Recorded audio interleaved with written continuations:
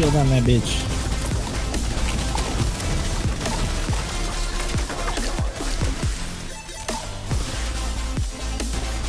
I can land my headshots.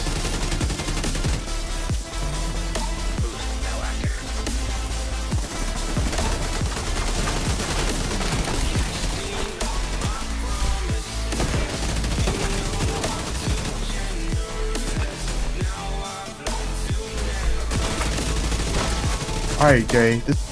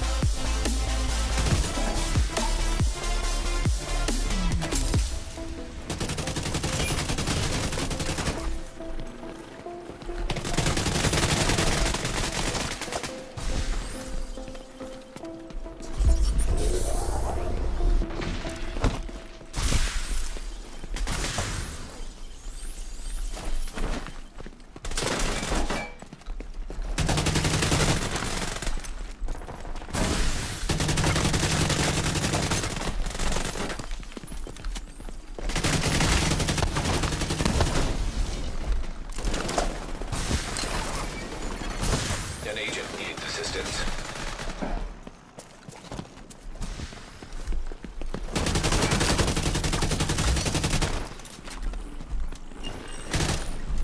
What's up, you guys? Gourmet J here, bringing you this true hybrid AR build, a build that kind of brings back 1.7 vibes. You know, if you're a Division One veteran, you know what I'm talking about. Uh, but this one is actually a little bit different because you're still pretty dang tanky. So I wanted to create something that is not part of the meta. Um, I love ARs, and with SMG still being part of the new the new meta, which is the uh, LMG wave. Um, I, I really wanted to create an AR build that is viable, especially with people saying that ARs are, are have been nerfed and they're not really viable. so with no further ado, let's get straight into it. So I'm using three-piece Providence, one-piece Gila, one Fenris, and one Douglas and Harding.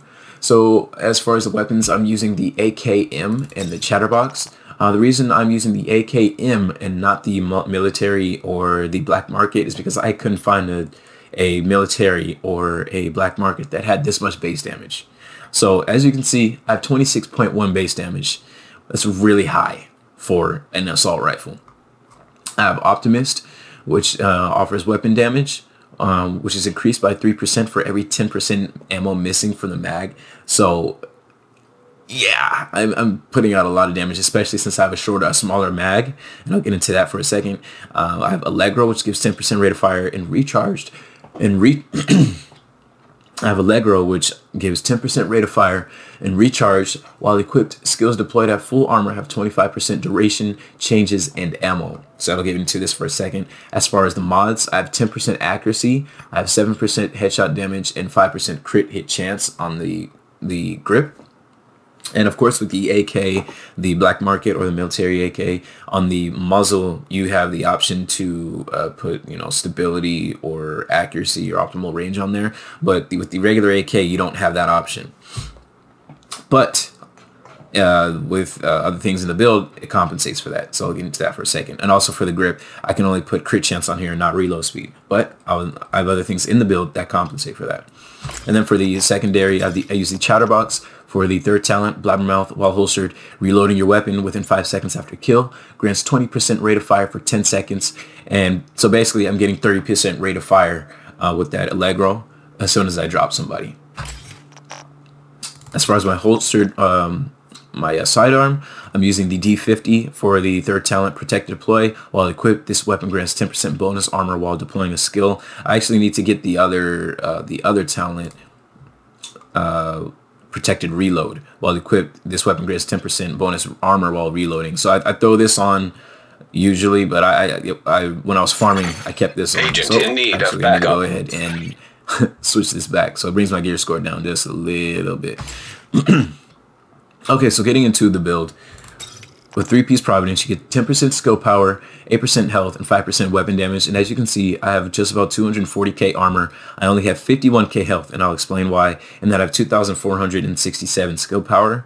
So on my mask, I have 20.9k armor, 267 skill power, 4,719 health on kill, and I have empowered on here to give me 10% skill power. So with the skill power, I only got the skill power that was needed. So I'm not trying to go overboard with skill power. As far as, um, I'll go into the Providence pieces first. As far as the gloves, I have Providence gloves that offer 20.1k armor. And as you guys, guys can see, these armor rolls on this gear are pretty low. See, like 20, I have gear that has 23.4k armor. So this build is not min-maxed. I could have way more armor. I could get around, I could hit that 250 cap if, you know, if I went for the pieces that had more armor. as far as the gloves, I have 63 uh, skill power on here and 7% assault rifle damage, which is modified. I tried to roll 10% on, but it brought it down to 7 due to, to modification. And the talent, I have Devastating, where it offers 5% weapon damage. So the gist of this build is not to worry about crits too much. You're going for weapon damage so that you can get optimal damage on for ARs. And then for my knee pads, I have Providence knee pads where I get 10% skill power, 8% health, and then uh, the 5% weapon damage with 292 skill power modified again, and then I empower for that 10% extra skill power. And then since I was, uh, you know, running around with the build, I didn't even notice in my matches, I didn't have this extra weapon damage on here. So I could have been hitting way harder. So what I do for these mods, I try to go for weapon damage, headshot damage, or an optimal range. So for this one, I'm going to go ahead and go for the 1.5% weapon damage, the 2% headshot damage, and 3% optimal range. Okay, and as far as my backpack, I use the Gila backpack for this 5% to total armor. Once again, I have low armor on here, so if I get a backpack that has even more armor, I'll be in a great place. I have 6,700 and 75 bonus armor, 3% weapon damage, and 9,787 health. I didn't go for skill power because I didn't need to overkill. I just needed enough to unlock the mods for me to get strong heals. I have 10% armor on here by Hardened, from Hardened, and I have On the Ropes, where weapon damage is increased by 25% while skills are on cooldown. So the reason I went for On the Ropes instead of Safeguard is because with the nerf to Safeguard, um, it didn't really feel too necessary to use, especially with since the with the heals that I get, it replicates um, safeguard. It's not as strong a safeguard because that's 125% healing. But with the healing that I get from my chem launchers, it it makes up for it, especially with all the shots that I get. So with on the ropes, basically what I like to do in the beginning of the match, I have either six or seven uh, shots in my my chem launcher. So I'll drop one in the beginning of the match, probably two, and I'll have either four or five left. And then when uh, I'm engaged, about to engage in combat, uh, I try to gauge whether the person has a defender drone because a lot of people like using the defender drone, and you know, I I took it off because I was sick of. I was sick of shooting people, emptying my entire mag in somebody, and it was immune, immune, immune, immune, immune, immune, immune. It was, it was pretty frustrating. So I said, you know, what you put out is what comes back to you. So I took it off and I said, you know what, let me go ahead and instead of complaining about it, let me find a counter to it. So I went ahead and threw on the jammer, which is uh, this right here. You send the pulse skill and I have the jammer on here. The jammer pulses outwards, overloading and disabling hostile elect- electronics. So basically, it disables their defender drone, and it, it's like it has a thing like a radius thing. So you can the longer you hold it, it like expands the radius, and it's the radius is pretty pretty far. It's pretty good. And then, uh, well, if you want to pop it immediately, if you're in, a, in, an engagement, somebody's right in your face, you could pop it. It has a nice little uh, small radius as well and I'll get into the spe- specifics with this, but basically what I'm saying is I like to pop that in the heal. That way I get that extra 25% damage. Let me go back to my backpack. I get that extra 25% damage and then I still have four or five heals left that I can run with. And depending on if I'm fighting multiple people, I'll drop heals or if I'm in a surprise situation, I'll drop that heal that I can shoot in. So I'm, I'm shooting and healing at the same time. And as far as a mod, I have a defensive system mending mod where I get 200, 2,580 bonus armor, 3% total armor, and 2% protection from elites, which helps for with with PVE. And then also for the Occupy DZ with the NPCs, annoying NPCs that are just so annoying when you're trying to PvP. But that's another story. And then I have an offensive system mod slot where I get 2% weapon damage, 3% assault rifle damage, and 1% damage to armor. So this 1% damage to armor actually works. Um, it's pretty uh, upsetting that the two piece from the True Patriot doesn't work. So, you know, uh, that was initially what I was going to use for this build so that I can get that damage to armor. But, you know, I had to improvise.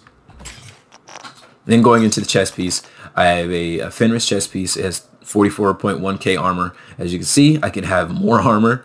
Uh, this gives you the 10% assault rifle damage. I have 383 skill power, 5% weapon damage. I have 10,592 health. I have Berserk on here with 10% weapon damage for every 10% of max armor depleted. Requires a shotgun, SMG, or assault rifle. So since I'm using the assault rifle, I'm running with that. And then I have Harden, which gives me 10% armor. And then as far as the utility mod slot, I have 200, I mean 125 skill power, 228 chem launcher skill power, and 98 seeker skill power. I'm not utilizing this seeker skill power. I just wanted this 228 chem launcher skill power and this uh, regular skill power right here.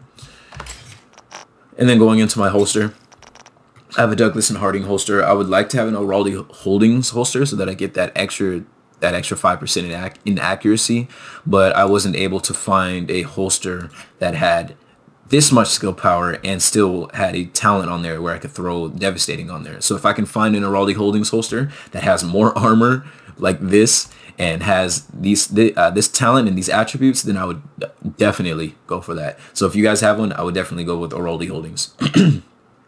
So I have 695 skill power on here, and then I have devastating with 5% weapon damage. And as far as the utility system, I have 73 skill power, 1% increased blind duration, and I have 5% reload speed. So this 5% reload speed helps make up for um, missing out on the the grip that offers 10% reload speed on my AK.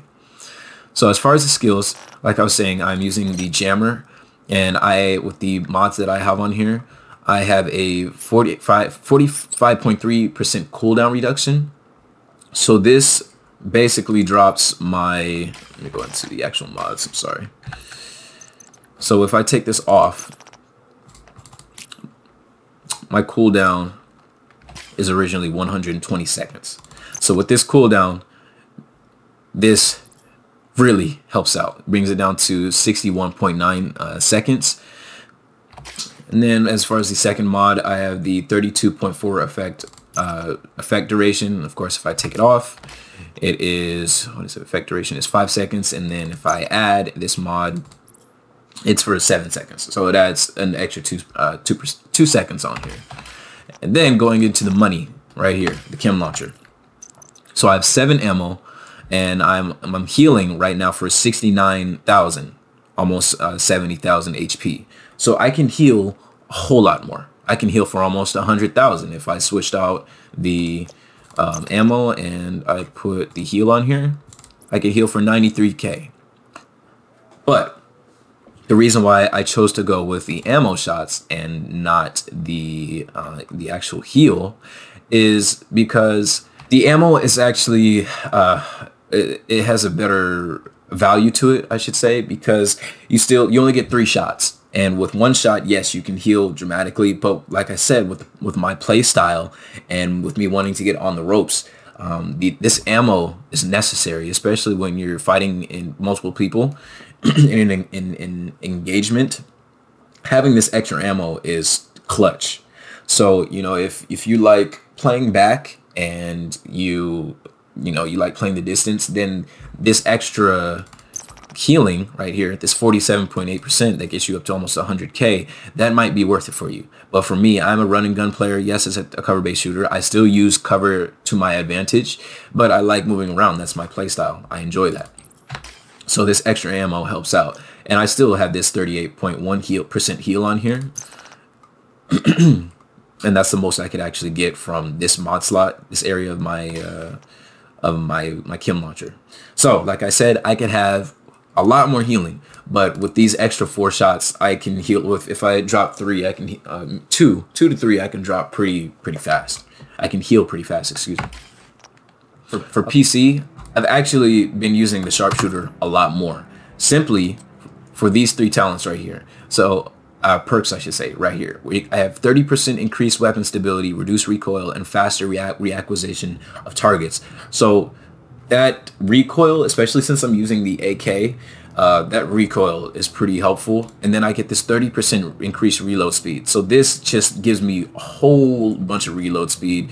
And then I get this 25% extra headshot damage. So headshot damage is really, really good, especially on PC.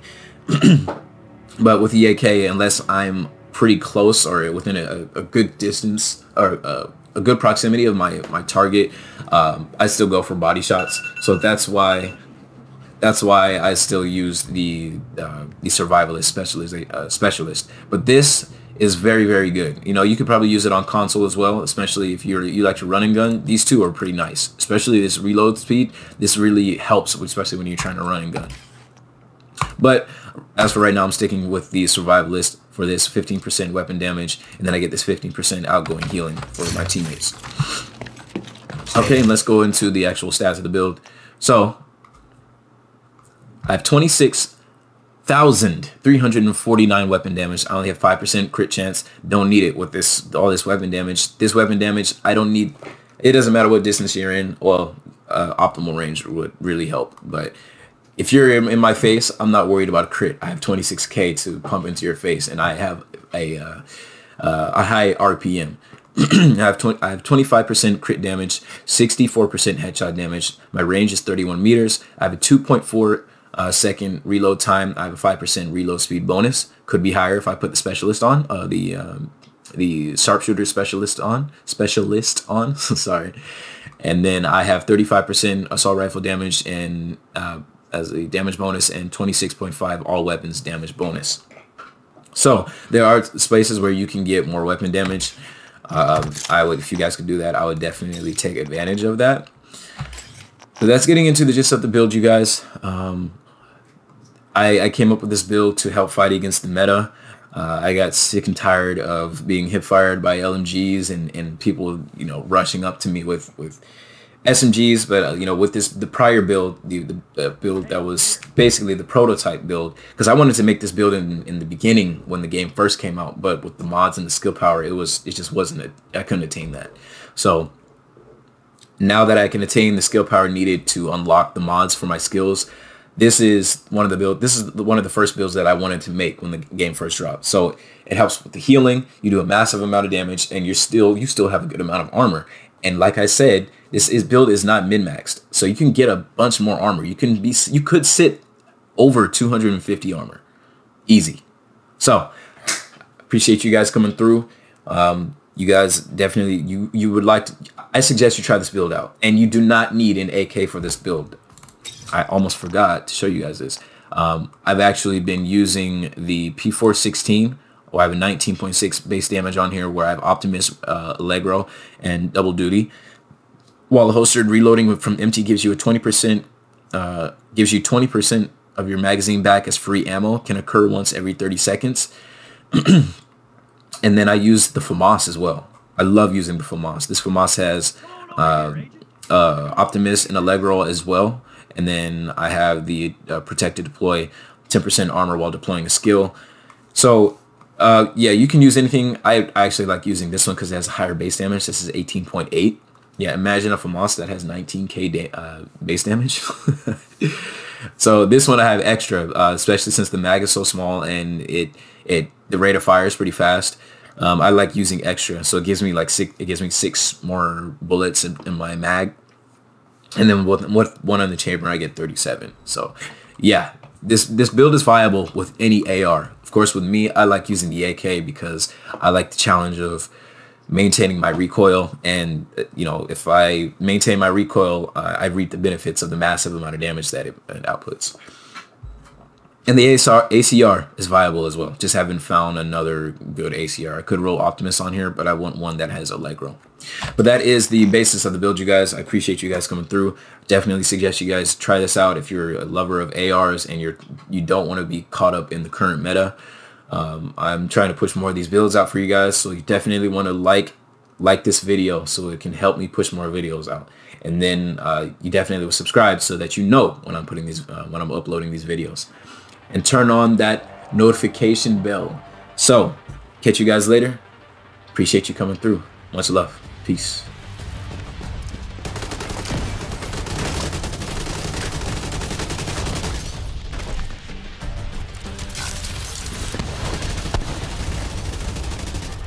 Okay, cool. Epic. Very epic.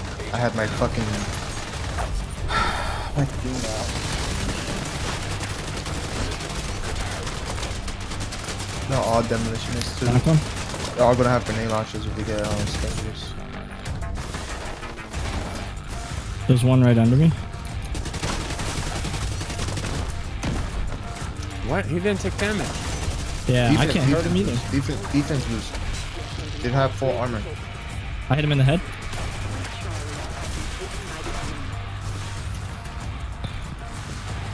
Got him, baby. Get off my man, dude. Nice. Thanks, bro. Got you.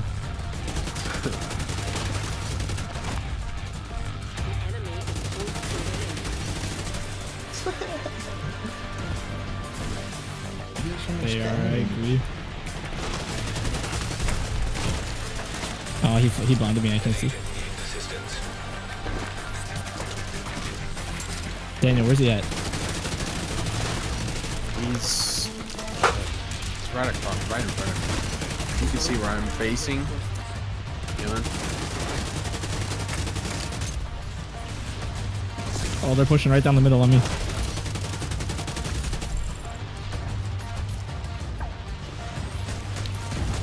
Got one.